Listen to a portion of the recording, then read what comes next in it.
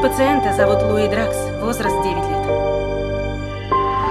Он упал с обрыва в районе Лэнсенд. Два часа в состоянии смерти. Я в жизни не видел ничего подобного. Сейчас он в коме. Но ведь он жив.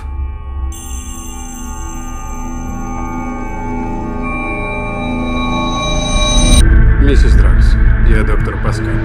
Нам не положено употреблять слово «чудо», так что будем называть это исключением. Я не смотрел, его столкнули. Столкнули.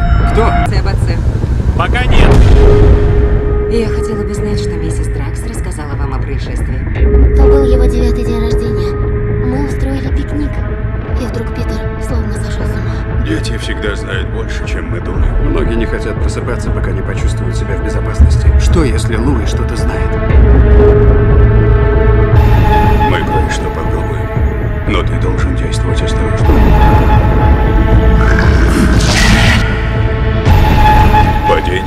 не было случайностью.